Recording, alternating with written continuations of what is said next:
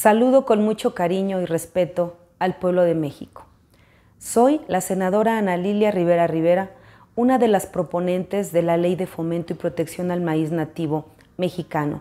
Esta ley que fue votada hace unos días en la Cámara de Senadores y que actualmente se encuentra para su discusión y en su caso aprobación en la Cámara de Diputados. Hace unos días se ha emprendido una campaña masiva, inusitada, en medios televisivos, radio, prensa y redes sociales, desinformando a la sociedad en general sobre los efectos jurídicos de esta ley, los efectos económicos, incluso generando sin ningún antecedente, sin ninguna prueba documentada, científica, que habla del incremento de la tortilla en caso de que esta ley se aprobara. Ante esta campaña de desinformación masiva, inusitada, sin precedente contra una ley tan generosa, tan bondadosa como la que nosotros estamos proponiendo, es que me dirijo a todos ustedes para bien informarles. Antes que nada quiero decirles a todas y a todos ustedes que nuestro maíz para los mexicanos es mucho más que un alimento, es mucho más que una mercancía.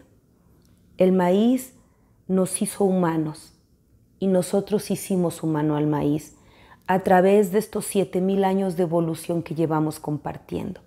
350 generaciones de mexicanas y de mexicanos han evolucionado con él. Son aproximadamente 62 razas las reconocidas en México, de las cuales 2.3 millones de variedades se están sembrando a lo largo y ancho de nuestro territorio prácticamente sin, ningún apoyo del gobierno. Estas semillas que nosotros le regalamos al mundo son las que estamos protegiendo a través de esta ley. ¿Cómo nosotros la estamos protegiendo?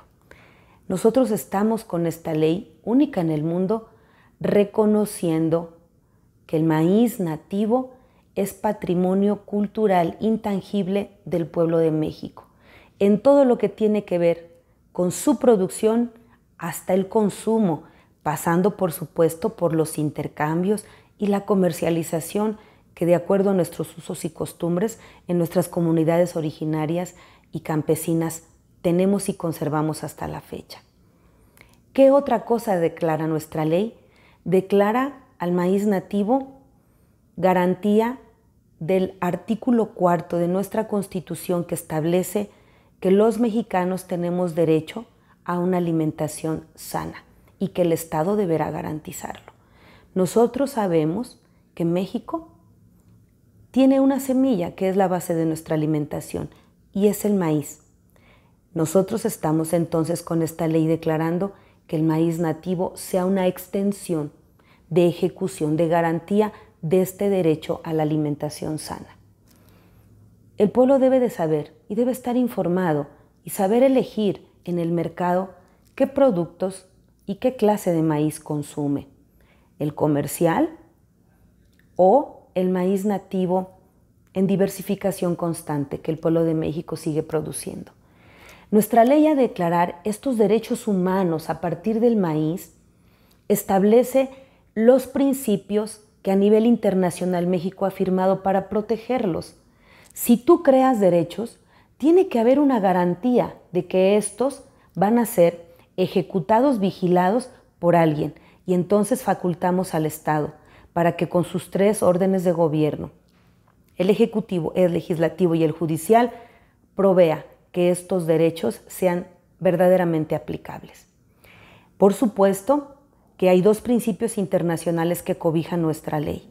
El principio de precaución de Cartagena, que establece que una vez que han sido declarados como derecho intangible, patrimonio cultural y alimentario de México al maíz nativo, no podrá ser contaminado ni amenazado por ningún otro tipo de semillas que amenace su desaparición, su extinción y por supuesto que amenace con no alimentar sanamente al pueblo de México o que haga daño a la salud de quienes lo consumen. En ninguna parte de su articulado se prohíbe ni el desarrollo de la ciencia, de la biotecnología o de la producción de semillas híbridas con paquetes tecnológicos caros, contaminantes, que tienen privilegio de mucho presupuesto en el norte de la República. Nosotros no estamos proponiendo en esta ley, en ninguno de sus artículos, ninguna prohibición, porque nuestra ley es preponderantemente declarativa de derechos humanos. Al declarar los derechos, también declara qué principios lo protegen. Y la no contaminación de nuestras variedades y el que las semillas que, que de maíz se produzcan en México no nos hagan daño a quienes los consumimos es parte de las obligaciones que al Estado le hemos concedido con esta ley. Por supuesto que al pedirle al Estado que garantice suficiente maíz nativo para el alimento y el consumo de los mexicanos y mexicanas, establece que debe fomentarse su producción, porque hasta el día de hoy en México los productores de milpa, los productores de maíz nativo, que son comunidades indígenas y pequeños productores no reciben prácticamente ni un apoyo del Estado. Este fomento de estas semillas en su producción estará a cargo del diseño de programas y presupuestos que se crearán con el Consejo Consultivo que representará el Consejo Nacional del Maíz, integrado por organizaciones civiles, representantes de pueblos originarios, de pueblos campesinos, de científicos y, por supuesto, de la Secretaría Técnica que estará encabezada por el presidente de la República, la Secretaría de Agricultura y la Secretaría de Cultura, estableciendo los territorios aptos para la siembra de nuestro maíz nativo. Por eso es que es importante que ustedes conozcan cuáles son los efectos y los impactos de esta ley. Esta ley no prohíbe los híbridos. Los que hoy lo siembran lo podrán seguir haciendo. Lo que sí impone es el principio de precaución, para que cualquier desarrollo biotecnológico no atente contra nuestras variedades, nuestras razas, ni contra la salud de quien consume ese maíz. Este maíz es un maíz que genera estabilidad, no desestabilidad. No es verdad que nosotros estemos impulsando con esta ley la obligación de que el gobierno solo siembre o provea a los campesinos y productores de paquetes o de apoyos para el maíz nativo. El híbrido lo seguirán, lo seguirán produciendo quienes quieran, pero es bueno que la gente sepa que es mentira que sean ellos quienes estén produciendo las más grandes cantidades de maíz en México. La producen los pequeños productores. Los grandes productores de paquetes tecnológicos con híbrido apenas producen 7 millones de toneladas. Dicen que con el maíz nativo va a aumentar el precio de la tortilla si se aprueba esta ley. No hay ningún estudio real ni serio que demuestre lo que están ellos comentando. Lo que ellos están especulando, que lleva a un terrorismo popular, no es más que el producto del temor que tienen grandes empresas transnacionales y grandes productores nacionales que han sido muy beneficiados de las políticas neoliberales mexicanas.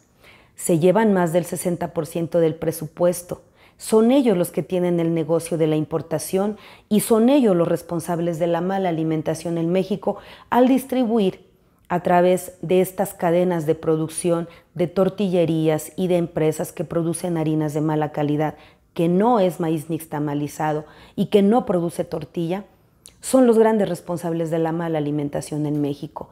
Ganan mucho dinero a costa de la vida de nosotros.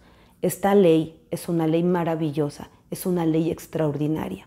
Esperamos que todas y todos ustedes nos ayuden a impulsarla. Sabemos muy bien que quienes hoy están tomando los medios masivos de comunicación lo hacen porque conocen la realidad y la profundidad de lo que esta ley protege. Si tuviéramos en algún momento que enfrentar litigios de propiedad intelectual, nuestro maíz ya está protegido como derecho humano y alimentario. Vamos caminando hacia la protección real de nuestro maíz.